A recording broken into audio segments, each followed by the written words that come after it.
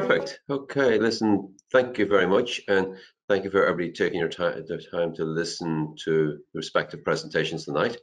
I'm Cathal Friel. I'm the Executive Chairman uh, and co-founder of Open Orphan PLC. That's a disclaimer, uh, always worth having and worth looking at because the small print can kill in these little companies. Um, and here we are. Um, what have we got? For anybody who doesn't know what Open Orphan is, um, we're probably one of the faster growing um, small AIM companies. We IPO'd in, in, June last year, and we acquired the company in the top right-hand side, Venn Life Science PLC. It's an integrated drug development consultancy. It had troubles. Uh, I'll tell you more about that in a minute, but we think we fixed it. And then we did the best deal of my life, uh, hVIVO in London. We acquired which was then uh, the world leader in the testing of vaccines and antivirals. It was a, a lost sheep. The market had lost interest in it, and nobody wanted to know about it last year. It did have a couple hundred million value, a couple hundred million valuation some years ago, and it collapsed to seven million last November, December when we came knocking. Uh, we thought we were very generous. We gave a 40% premium, and we acquired it for 30, uh, 13 million in January. Uh, two million of that was actually cash. Uh, it came with cash. We have all equity. And now, three months later, uh, everybody seems to know what vaccines and everybody seems that antivirals does. Even my 10 year old child seems to know what antivirals were. So basically, it's wonderful. We've been really lucky. We've been busy working it. So, what have we created? It's really the strapline at the top. We have now created Open Orphan PLC. It's a unique European niche, means small but profitable, uh, or soon to be profitable, I'd say, CRO, which is really a clinical research organization. In other words, we test drugs on behalf of big pharma. And we're unique. This is a little East London, Whitechapel-based company, hVIVO we bought. But guess what? They are the world leaders in running trials to test vaccines and antivirals. Is that a nice space to be in the moment? I know we're all, the whole world, ourselves included, having the toughest two months of our life. We're all locked up. Uh, but owning the company now that at least can test the vaccines, we've got a lot of profile into what's going on. So it gives us great comfort. There is uh, a uh, hundred COVID-19 vaccines in different stages of development, and even more COVID-19 antivirals. We're in the lucky position of seeing a lot of them, and we're even lucky, more lucky position. We're getting paid to test quite a lot of these things. What else is an open orphan?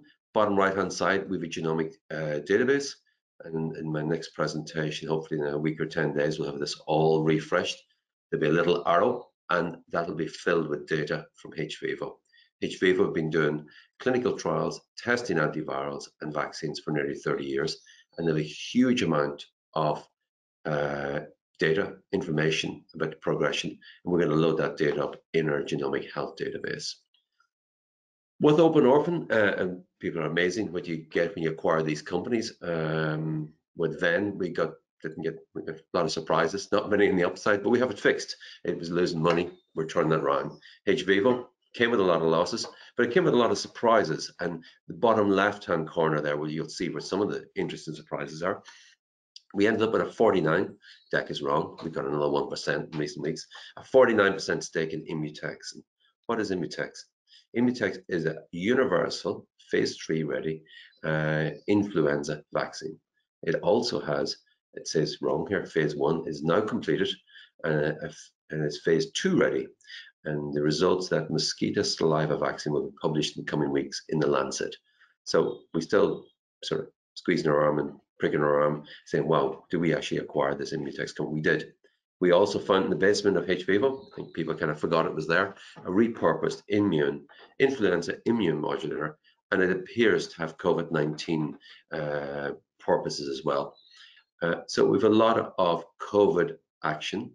Uh, the last thing that I'm really excited to say is not on this deck. Uh, it only came out earlier this week, and we haven't got around to updating it. Is uh, we have all seen in Sky News and BBC today Roche uh, saying they now can do 100% uh, accuracy antibody tests. Well, if anybody's read The Guardian on Sunday, uh, and the FT last week said there's only two companies in the world that can give 100% accuracy to antibody testing, which we all know is very important. One was Roche, but guess what? Second was Quotient. And on Monday of this week, we were made the proud. We're their exclusive UK distributors. So our Quotient machines arrived in this week. And in 10 days time, we're going to be offering the exact same service as the Roche machines that are all over the press today. And if you look at our RNS, it was published in London on Monday under Open Orphan. It was published in NASDAQ under Quotient, Q-O-T-I-N-T Inc.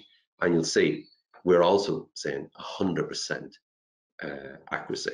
So that's an exciting place for a tiny little company called Open Orphan to have.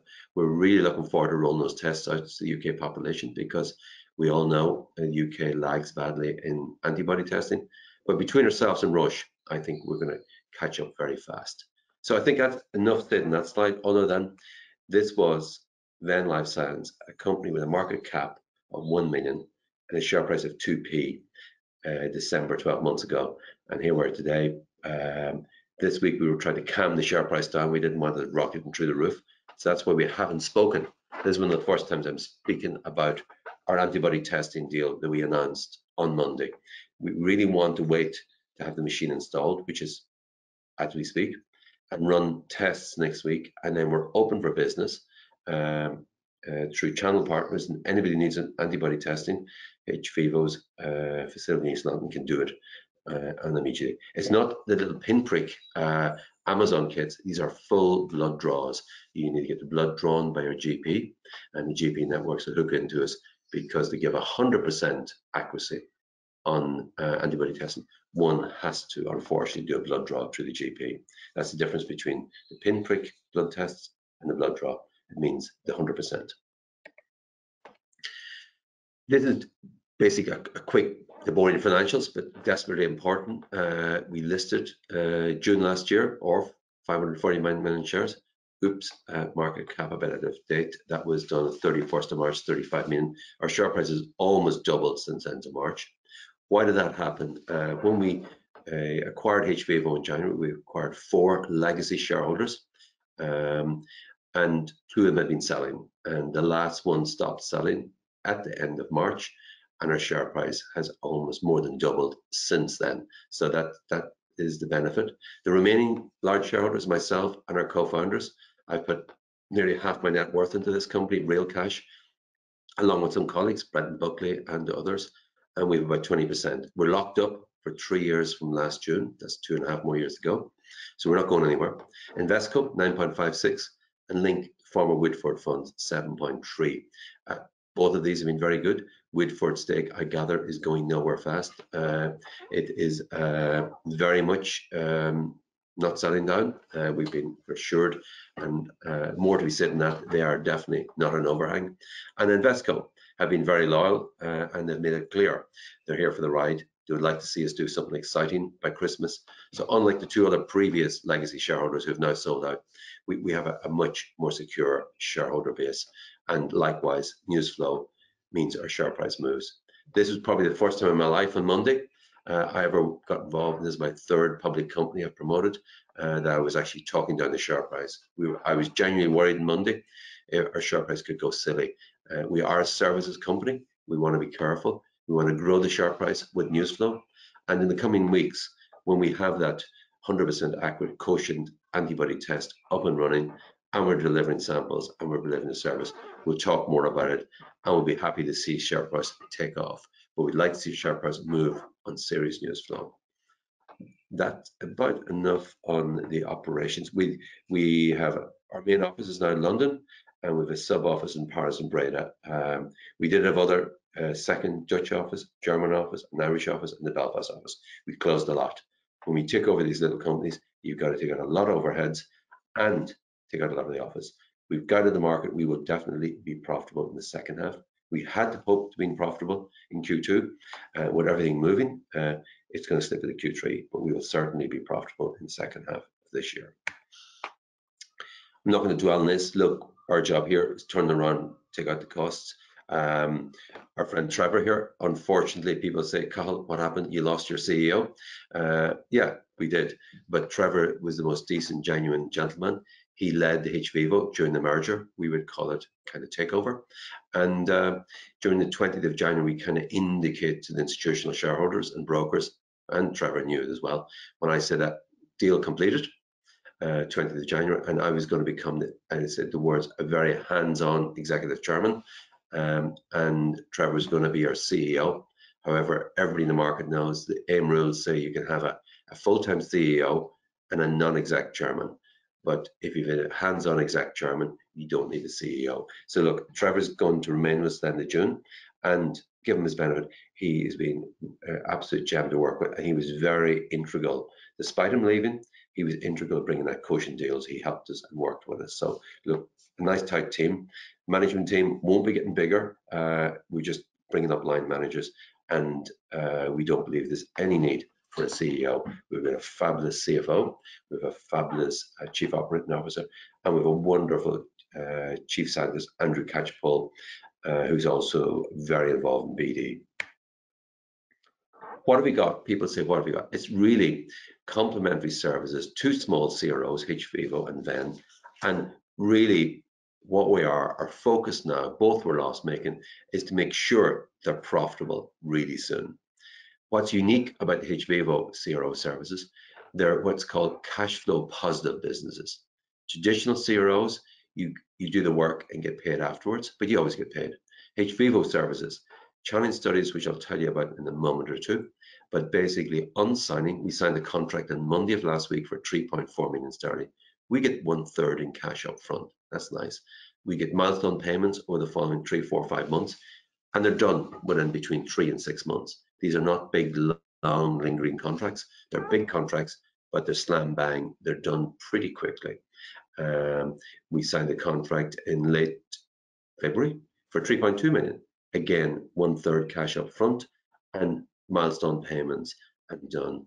The in the February one was 3.2. It's a pilot study for RSV, and we said in the RNS there's a follow-on pivotal which means it's, it's approval uh, for 7 million. So that one contract is 3.2 upfront and a following 7 million. Uh, we've guided the market, we have more. So uh, let's watch that space. But certainly uh, we're confident there will be more news flow on more contracts, but we'll not talk about them until they get delivered. Look at that customer base, and particularly in the line of what's going on in the world with vaccines. Uh, Janssen, uh, Johnson & Johnson, Gilead, we heard a lot about those.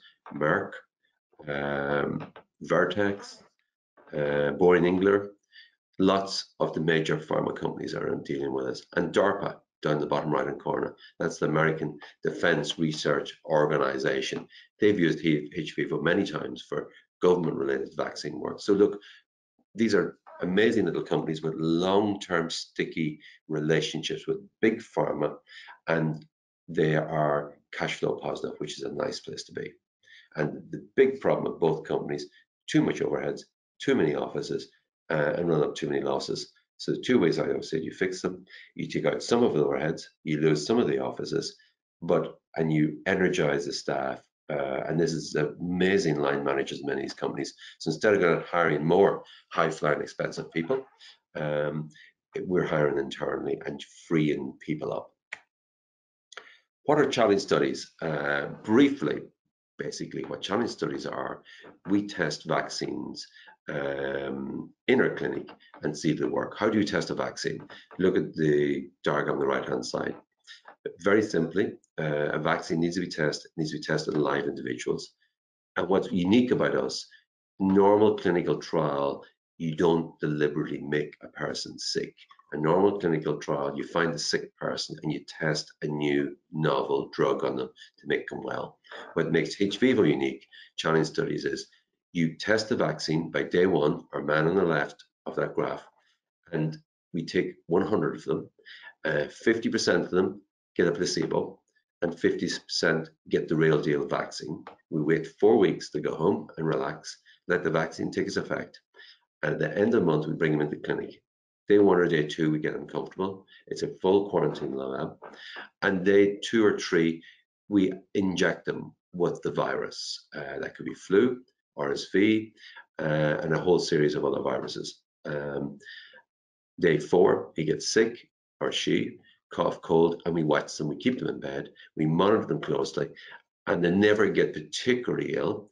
But we then, and then within end of the 10 days, they're fully well, hale and hearty, and we send them home.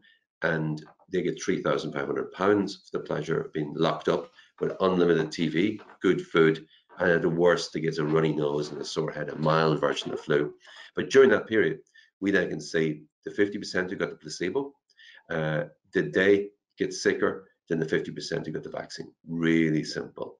Again, it's amazing. This is not done anywhere in the world, bar in um, hVIVO's offices in East London. So that's a challenge study. The exciting part is uh, the 7th of March, we said we'd be ballsy and we'd launch the world's first coronavirus challenge study. So the real excitement about this in the months ahead. Uh, on that announcement, we virtually every large vaccine manufacturers doing COVID came to us and said, can you test our vaccine? Because the beauty about this, it's called a phase 2B trial. It lasts three months. And because the, the subjects all are in the clinic, we can tell a vaccine company after two months, does your vaccine work? Yes or no. So in the coming weeks and months, you'll hear an awful lot more about what we're doing. Uh, we've announced we're going to do a coronavirus uh, seasonal challenge study model, and we're actively looking called the real deal, going with a COVID-19 attenuated virus challenge study model. If we can those virus models up and running, uh, we could be dealing with an awful lot of the current uh, vaccines for COVID-19 that need to be tested. Uh, it does shorten the time frame by two to three years of the normal vaccine development. I don't want to dwell too much on that, but that's a really exciting uh, revenue stream for us.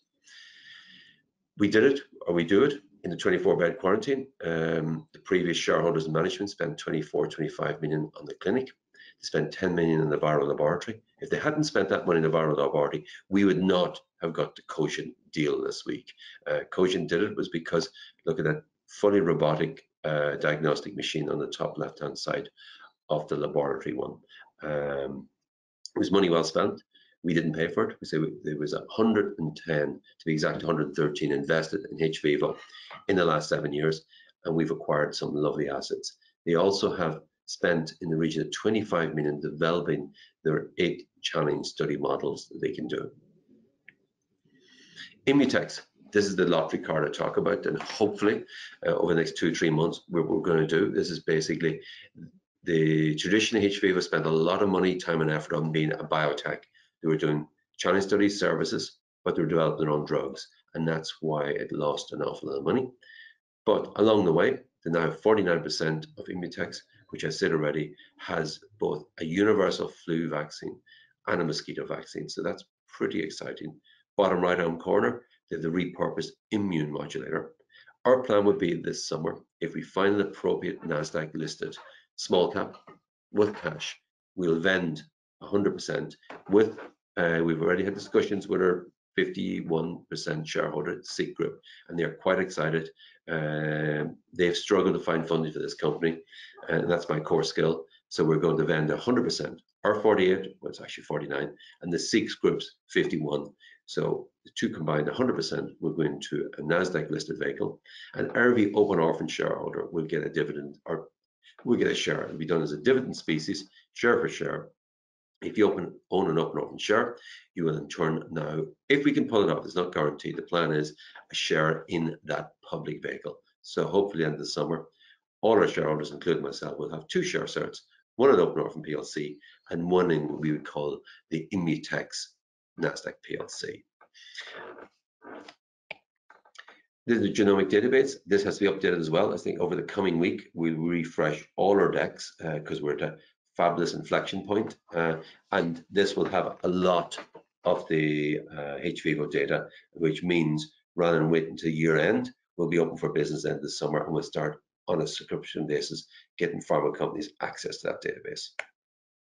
I'm not going to go into the higher value. That's basically we've got chunky contracts. We're announcing three to five million. The Venn ones were half a million, sometimes slightly bigger. And put them together, we've got bigger contracts.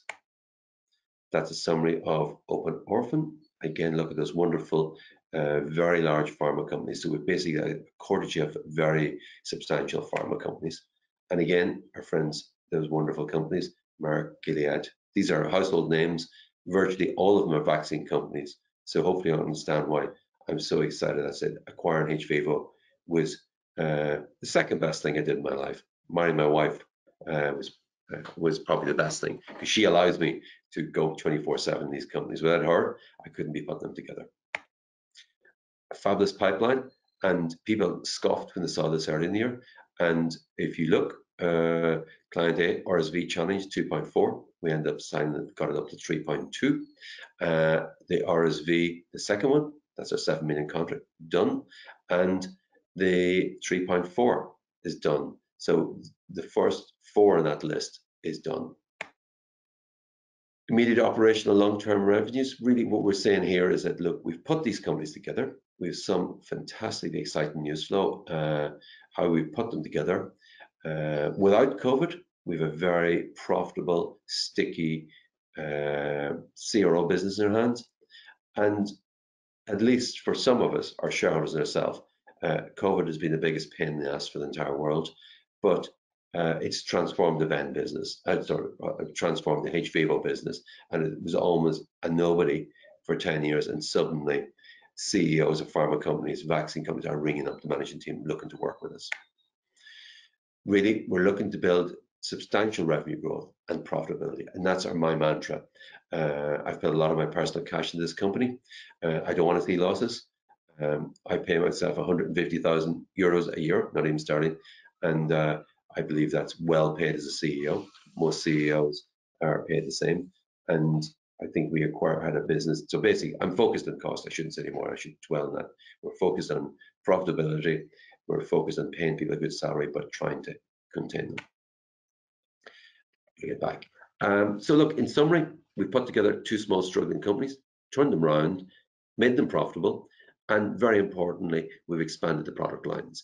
Uh, I think nobody would have believed hVIVO uh, would be offering uh, antibody tests in the UK or laboratory testing, and nobody believed that we could have had potentially 12 of the largest vaccine companies in the world wanting to talk to us. Um, but again, we've a lot to do. Uh, we've done a lot. We've come fast. We've come far ahead, and, uh, let's see how far we can go. So, unless I have to say any more, I think it's time to hand it over for some Q and A. Um, we have had a lot of questions. I mean, quite a lot of them that came in, I think, over the course of your presentation, you then covered them off. So I'll try and skip the ones that I think or I feel that you have covered. But if, um, as a reminder, if you weren't at the start, the webinar video will be on the Shares Magazine website, hopefully in a, in a few days. So you can come back through and try and get those detail points if we don't cover things um, again for you now. Um, a lot of questions, unsurprisingly, about the um, the quotient, quotient, forgive my pronunciation, um, the machine, um, how many machines have you got? What's therefore the capacity for testing?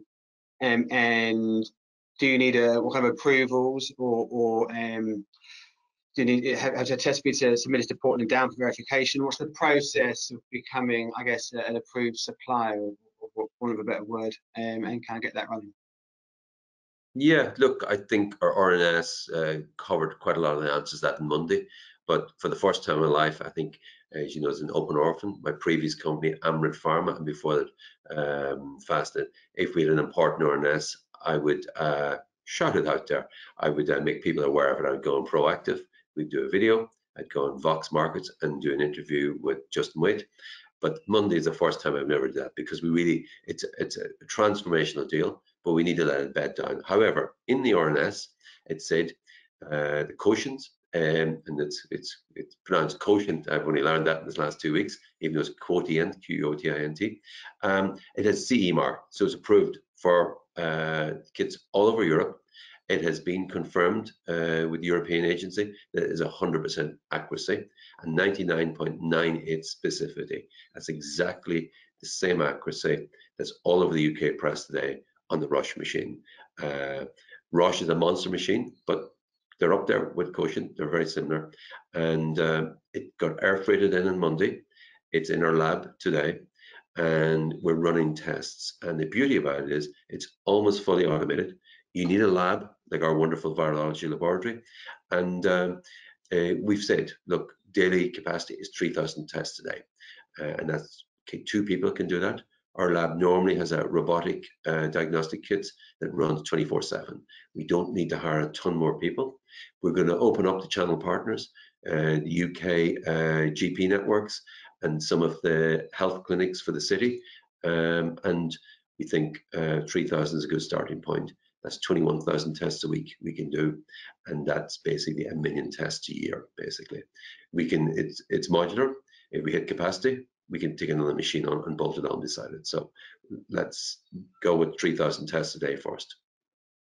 And so you feel as though you have the infrastructure and resources in place to maximise the the opportunity that that machine offers you. Absolutely. And look, we genuinely have done no PR. We've talked it down. We want to get the machine in, bedded in and working, but it is up there, the same everything that the Roche machine equal. Uh, but you will hear a lot more of us in two weeks. As we're, as we're up and running, we just want to make sure it's in the laboratory. And as of now, the, some of the team are working on it. Uh, but it's a very simple machine. It's robotic. It does need the facility we have. It needs to go into viral laboratory. It needs to have a viral laboratory with all that bells and whistles that we have. So it was actually it was one of those opportunities that that uh, it suited them and, and certainly suited us. I've, had a lot of questions again about this, and I'll, I'll try and do it in just one. Um, and it's about, kind of, I guess, the competitive environment. Um, does uh, Roche and you being in the UK market simultaneously to have any of a negative impact on, on, on, the opportunity for you? I mean, I, would assume not. Plenty of tests need to be taken, but um, his comment about that, does that, does that impact your opportunity? No, I think, look, we, we all know, uh, I think every listener tonight would be very happy given 100 euros or 100 pounds or 150 to do a blood draw and tell me have I antibodies or not. Um, so look, uh, the entire UMARC, virtually every in the UK will want not once, twice, will want to get antibody testing. Look, where we fell behind uh, in the UK, our bloody Germans have been testing and have the kit in place. Britain is only catching up. There's room for lots of us. Uh, I don't know what about you, but I know in London, the city, all the big banks want to test their staff every second week for antibodies. Once you've confirmed, and bear in mind, uh, COVID-19, the vast bulk of people who get it don't even know they have it. But the one benefit is you have antibodies. So no, I think, look, uh, we're not saying this is the most wonderful long-term business, uh, but certainly we are very happy to help provide antibody testing. We know uh, Britain has struggled to try to send out the pinprick uh, little uh, kits. You puncture your finger, tiny bit of blood. Uh, the belief is if you want to know 100% certainty, you must do a blood draw. That's pulled three ounces out of your arm. It's done by your, in your GP and it's sent to us and we will give you, or Roche will do as well. They have absolutely fabulous capability, but it has to be laboratory test, test. It can't be a little pregnancy kit at home where you just put put something on a stick and uh, work. Other things can be 100% accuracy on pinpricks, but not um, COVID-19 antibodies. We, um, thinking back to when you first floated uh, the company and first presented Open Orphan, um, you were very clear about the, um, I guess, the exit strategy and your your uh, ambitions to um, exit relatively swiftly and not to be around for a long time. Now the world has changed somewhat. Is that still the case? Do you still have the same ambitions to to exit, get out quickly, to sell the business uh, in, in some form, or do you now think there's a greater opportunity to try and develop something?